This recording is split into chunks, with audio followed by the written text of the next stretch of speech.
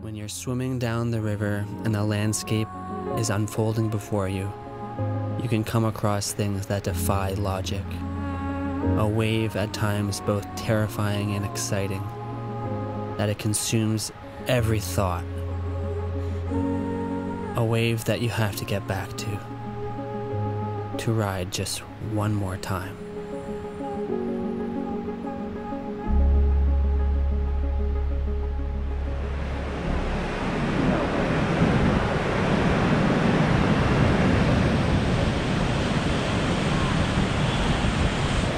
John and I are gonna do our trip down to Ginormica today. I think it's about an eight kilometers down and then eight kilometers hike back up, which is not so bad, but the woods up here are super thick, so it's really hard to say how long it's gonna take us to get back. Molly just kind of came in prime for the kayakers, so there's lots of kayakers here. So I'm gonna just try getting a couple party surfs with Benny before I head down.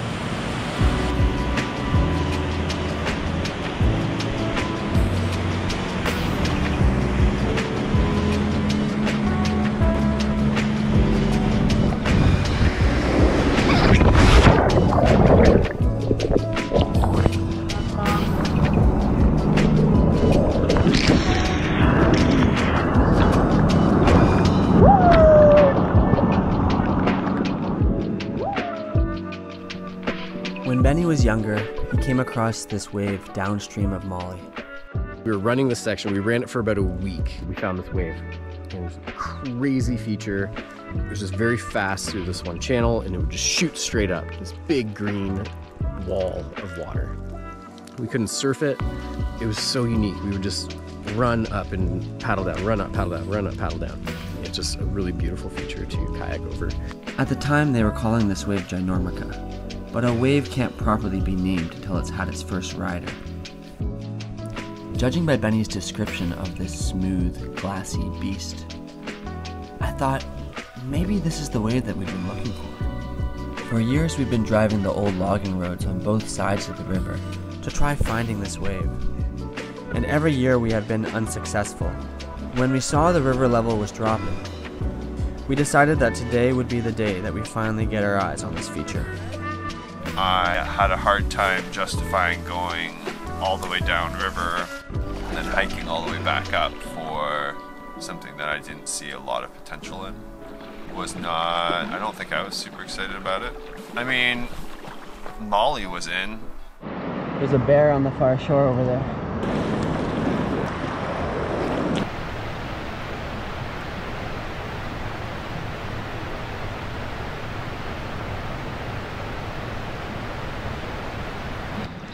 Something about that feeling when you come around a corner, you hear this giant roar from downstream, and the horizon line, and all you see is some mist spraying in the distance. Gets my heart going. We've been calling this rapid the L Rapid because of its 90 degree turn at the bottom.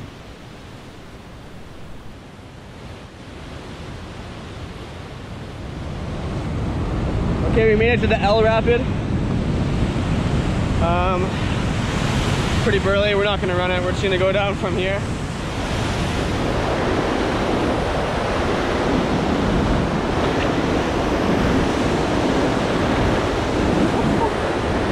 Pretty intense.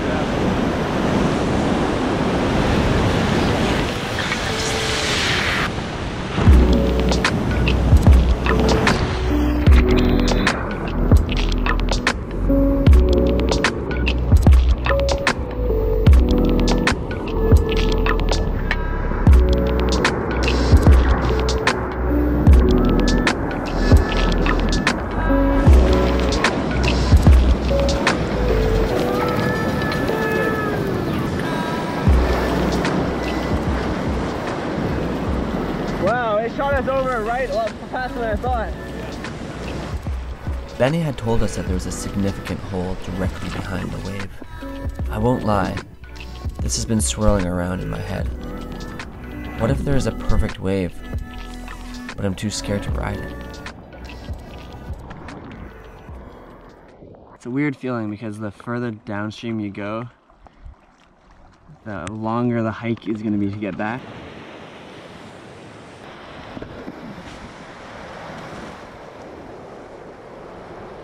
Is that what your feelings are too, John? Yeah, like that.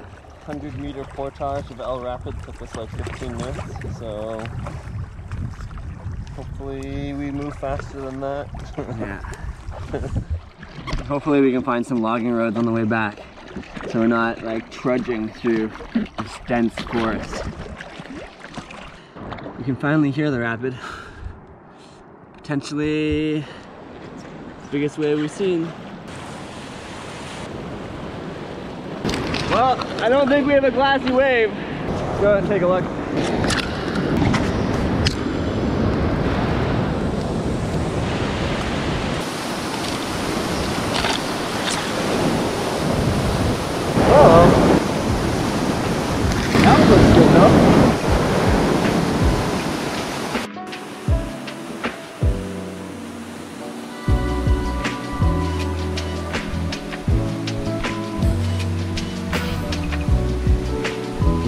Find the wave that we were looking for. But this place, this place felt special. Some waves only show their face with very specific water levels. In order to find a really good river wave, you either have to be really lucky or willing to put in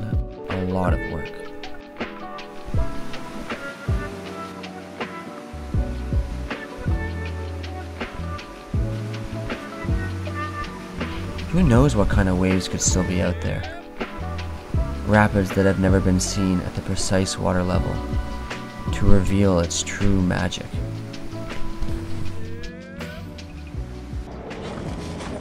So, found this old logging road. It's really old. But at least it's easier than trudging through the dense woods. It was like, to get to this road was super, super tight. Couldn't even fit between the trees. So, I mean, I'm glad we found this road, but still got a long journey ahead of us. Uh, 2.30, we were about to skip out below L Rapid. 3.30, we got to the rapid we were hoping to get to. Yeah. 4 o'clock, we started heading across. 4.25, I think we made it to this road. And then we just made it to the T at 4.50. Yeah. Okay. Don't exactly know where we are, but somewhere between the, the the island and the L Rapid. We're still walking in the right direction.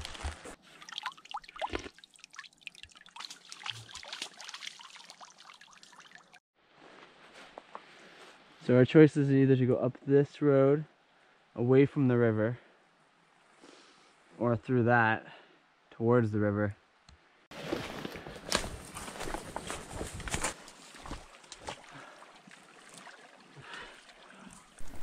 There's always this debate. Do we hike in our wetsuits and overheat? Or do we take the wetsuits off and get eaten by the bugs?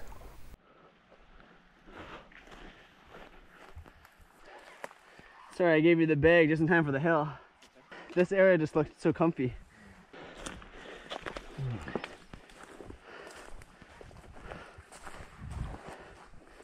All right, now we just go towards the sound. Uh, I'll leave a little in there. So you can see the rapid below the L rapid, but uh, ways to go still.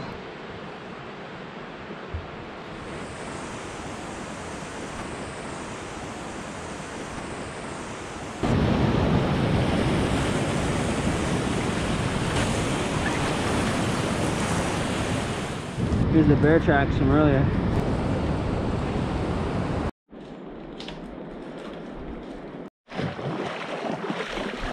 We can see Molly Bridge off in the distance. We did it.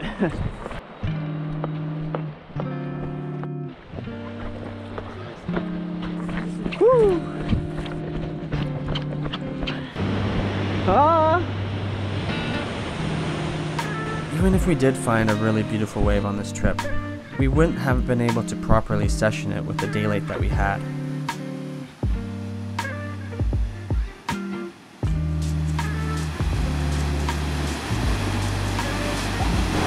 We did that whole journey and there was no, there's no epic wave, whatever. I can't really complain. Still an epic wave right here. And I still have a couple more days up on this river. So I'm still gonna take advantage of that. Hopefully I'm not too sore tomorrow. Pretty exhausted though, that was a long trek.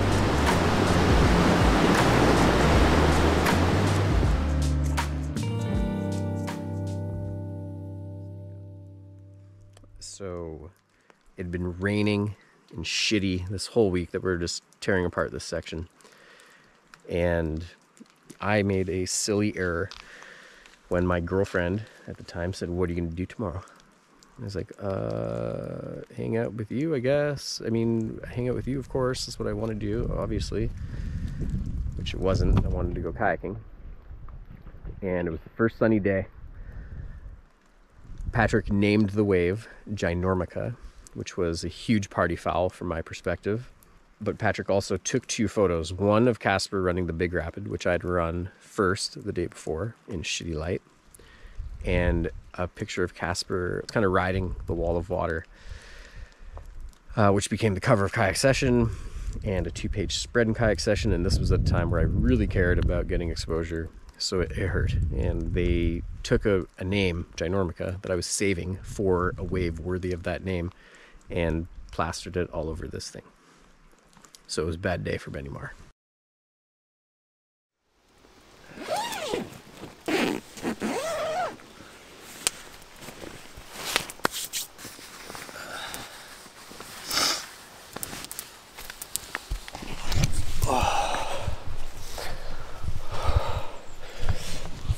Whoa.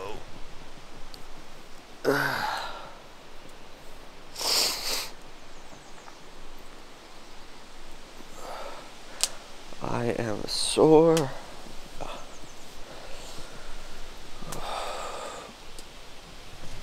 We decided to drive down to a different section of the river, downstream of Molly Bridge and our elusive perfect wave, to a place we call Hawaii. Hawaii is a big wave mecca. No other rapid houses such a stacked lineup of extra large waves.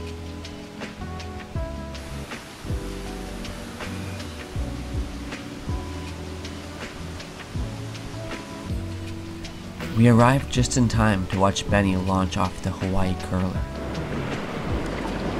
Alright, new day, top of Hawaii, ready for a rip down. Yeah, no real plan, just gonna have some fun.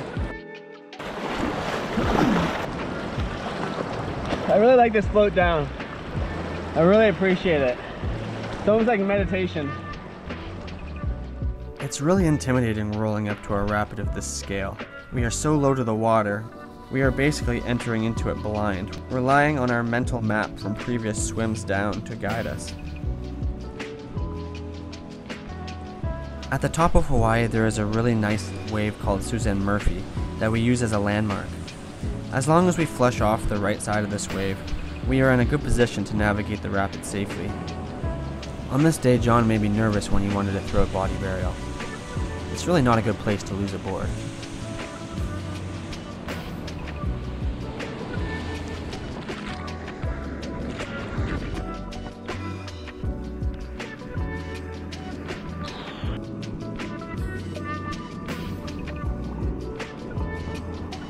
Combined sequence of cutting it close to Hawaii curler,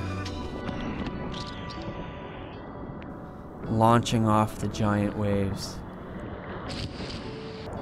and then swimming through the chaos at the bottom. It's really a sensation that cannot be matched. Didn't think I was gonna make it that time. that was really close. Whew. Here's John's first black mass attempt. Kind of curious how this is gonna go. I can tell that he's a little bit I'm unsure. It's gonna work! Believe in yourself!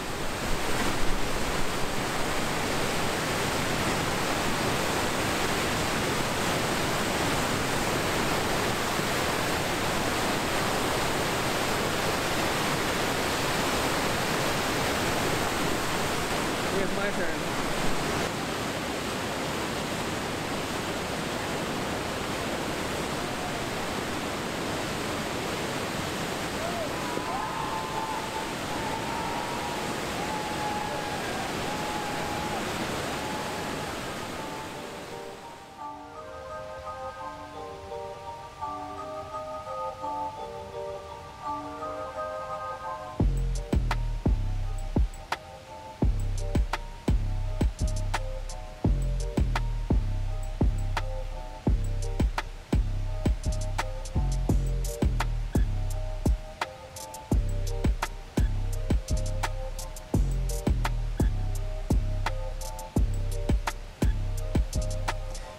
Benny has been surfing Black Mass for years.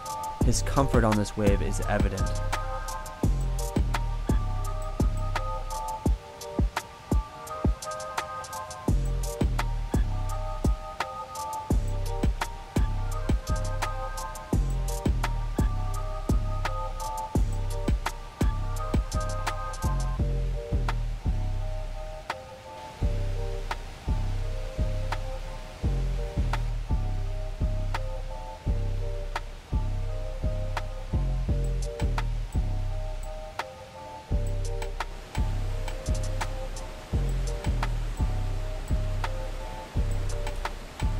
Although John did catch a couple surfs, including this one where he almost lost his flipper, he was not enjoying it like Benny and I. He set his sights on another feature just upstream, which was thought to be unsurfable.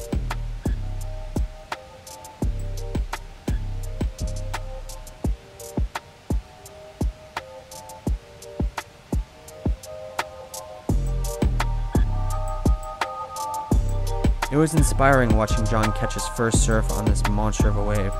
The wave was then dubbed Pineapple Express.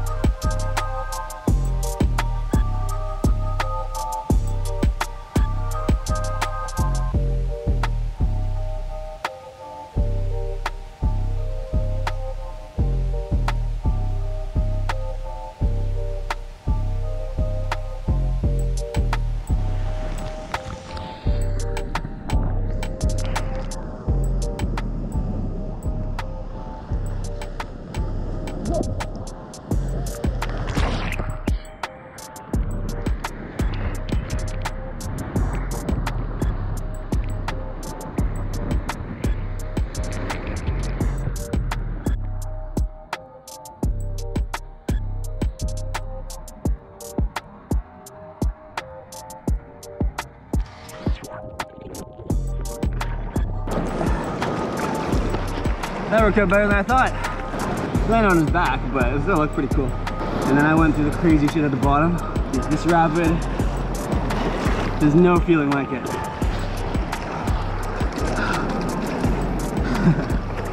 so we just had an epic session at Hawaii. All in all, it was a freaking awesome day. We just got um, uh, the fire prepped, the food prepped, everything's prepped, the sun is going down, but we're gonna go for one last session.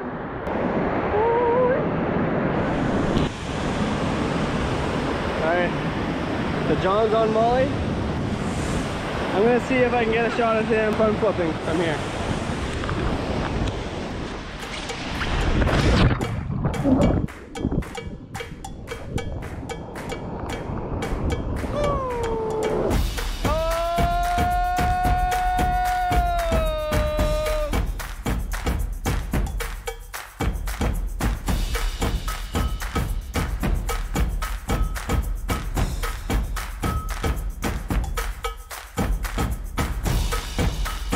was once my perfect wave, with almost no downriver consequence, taking on so many different shapes.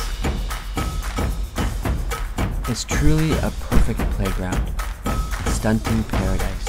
I think the black flies are out. Just maybe. Well, we're packing up the car. We're about to leave Molly. Didn't even use this board on this trip. Good thing we brought it. Good thing we brought it.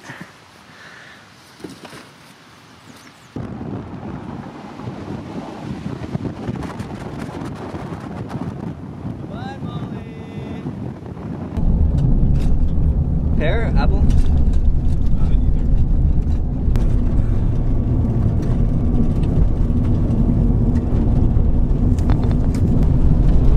How we were boat pitching. Nope. We only served five waves this trip. I just see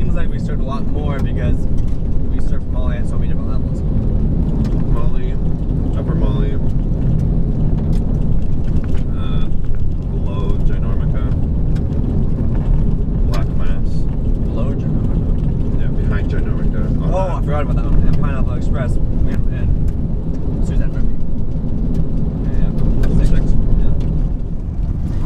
So last minute we decided to go on a exploration mission to figure out where Benny is. Uh, he kind of gave us a little description and he said he's going to camp out at Ginormica. Um, so hopefully we can get there using this road. Hopefully there's a dope wave at the end of this road. Anyways, uh, we kind of started this adventure really late, so it might might have been a. Uh, we should have just shouldn't have spent so much time at Molly. So last day of our stakeout, last day of our wave hunt. We have one final chance to, to check out Ginormica. Benny had said that he found a way in. Hope the wave is good. It's been many years of searching for this wave at different water levels and trying to find perfect timing and the perfect route to get to this wave. So I'm really hoping that this is the day, the day that we can actually see this wave. Um, it would be a nice finish to this trip. I am cautiously optimistic.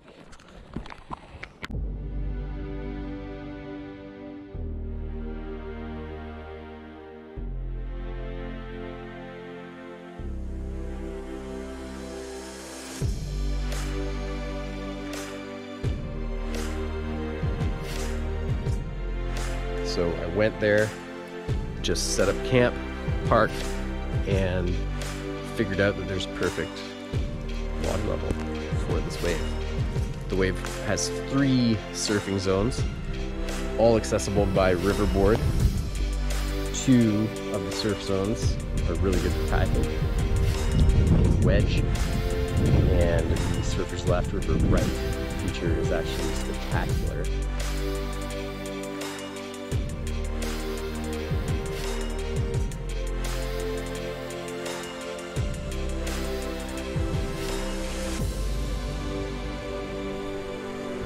Not see Cheese Wave as being the big beautiful thing it is. I did not think there was potential for there to be a wave that looks like this.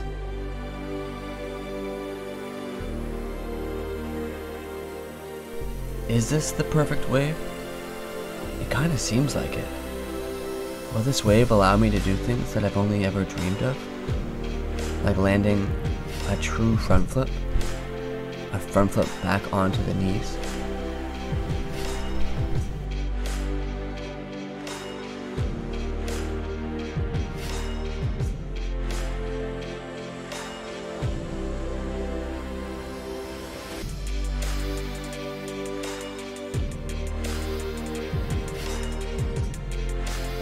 It was I always knew I wanted to name this like perfect wave cheese wave, and this is kind of the one. There's a few other name ideas, but it's cheese wave.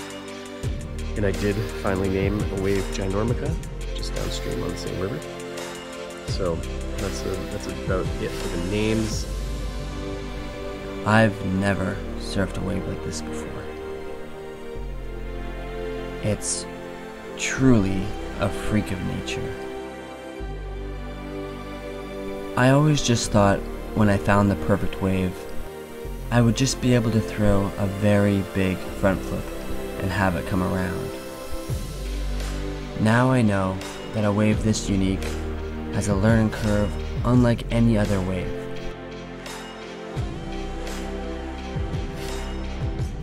The road to the true front flip has only just begun.